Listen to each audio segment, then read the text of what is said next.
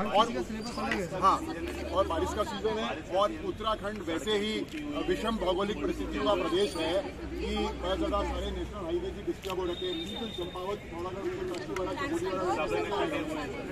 ठीक हो गया।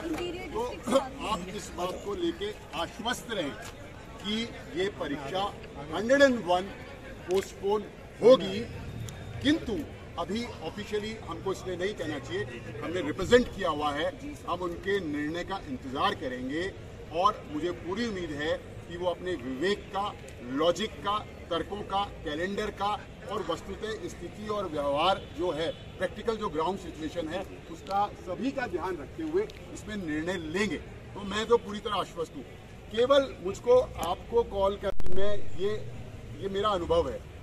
वो क्या रहा है यहाँ उत्तराखंड में?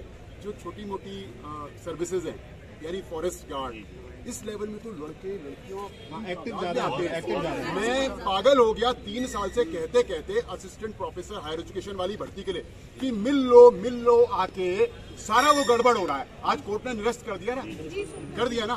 उसमें देखिए इंटरव्यू होगा लेकिन इंटरव्यू का जो परसेंटेज है वो टोटल मान लीजिए 200 अंक का पेपर है तो आप 12 15 नंबर 20 नंबर का मैक्सिमम 25 नंबर का इंटरव्यू करेंगे ना?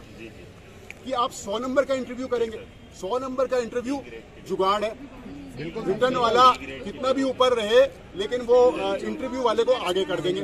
तो ये हमने ऑलरेडी इंटर कॉलेज के प्रवक्ताओं में तीन साल पहले मैंने ऑलरेडी करवाया था। And in a single stroke without any help of the government single stroke में कराया था हमने ये।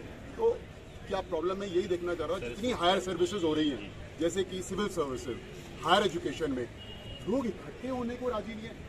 ट्विटर व्हाट्सएप में मुझको मुझको इशू बिल्कुल क्लियर है। बिल्कुल क्लियर है मैं आपको बताऊँ। बताना इसलिए ज़रूरी है क्योंकि कम लोगों को पता है अधिकांश को नहीं पता। पाँच साल से पीसीएस नहीं हुआ लोअर पीसीएस नहीं हुआ। मैं तो मैं रिप्रेजेंट करता रहा गवर्नमेंट को कि अध्याचल भेजिए आयोग में परीक्षा कराई। मुझे जब लगा कि ये लोग कुछ नहीं करने वाले हैं मेरी किसी लड़के या लड़की से बात नहीं हुई थी जो एप्लीकेंट्स थे और ना ही किसी ने मुझे अप्रोच किया था। मैंने सीधे हाई कोर्ट में पीआईएल हाई कोर्ट में पीआईएल डाली कि पाँच साल से पीसीएस नहीं हुआ हिंदुस्तान के सभी स्टेट्स में हर करंट ईयर में पीसीएस का एग्ज़ाम होता है चाहे एसडीएम की एक पोस्ट हो डीएसपी की चाहे एक पोस्ट हो। आपने पाँच साल से उत्तराखंड के लोगों को यहाँ के जो नौजवान हैं उनको आपने बिल्कुल स्टक कर दिया और उनकी ओवर एज हो रहे जो तीस साल वाले वाले हैं वो पैंतीस में तो ओवर एज हो जाएँगे। तो कोर्ट ने क्या किया कि आयोग से जवाब मांगा गवर्नमेंट से भी जवाब मांगा तो हलचल हुई। काफ़ी हलचल हुई उसके बाद। और लकीली क्या हुआ कि उसके बाद ये नए चीफ मिनिस्टर आ गए। तो ये समझ गए कि यार मैटर सीरियस है। तो फिर इन्होंने उसमें मिल के हम लोग मिले तो इन्होंने इनिशिएट ले लिया। तो हम उस मामले में भी कोर्ट गए थे। और मैं आपको बताऊँ किसी एप्लीकेंट का न मॉरल सपोर्ट था न फ़िज़िकल सपोर्ट था। फाइनेंशियल तो हम मांगते ही नहीं है किसी से। सर मॉरल सपोर्ट और ये फ़िज़िकल सपोर्ट तो तब होगा ना जब रेगुलर क्लास मतलब एग्ज़ाम्स आएँगे। भाई साहब मेरी बात तो सुनिए आप। मैं कह रहा हूँ जब मैंने पीआईएल करी समय कोई नहीं न्यूज़ अखबार में पढ़ा है। मैंने कहा आपने फिर क्या किया? किया कुछ नहीं। तो मैंने रिप्रेजेंटेशन वगैरह दे के उसको बिल्कुल लाइन अप कर दिया।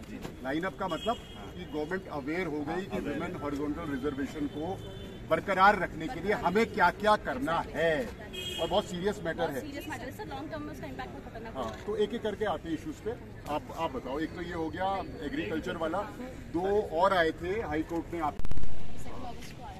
ये एग्रीकल्चर वालों का?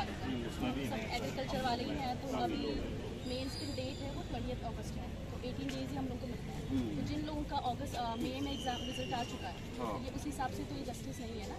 सिलेबस आप देखिए एग्री एग्रीकल्चर वालों का मुझे पता है। हाँ। दो और हैं एग्रीकल्चर के अलावा हाँ। जो रिसेंटली मेरे ख्याल कोर्ट ने जिनको परमिट किया है। कल भी करा है ना? कल भी किया है। तीन को किए हफ़्ते भर में। एक और आने वाला है हाँ, मतलब तीन ग्रुप्स को तीन रिज़ल्ट किए एक और आना है आज।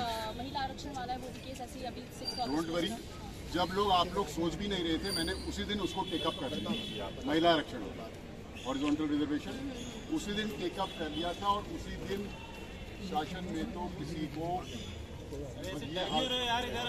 शासन में ये था कि मैंने जो कंसर्न ऑफिसर थे उनसे बात करी।